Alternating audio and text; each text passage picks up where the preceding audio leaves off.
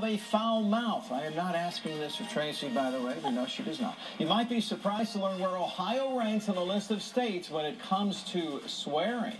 Dick.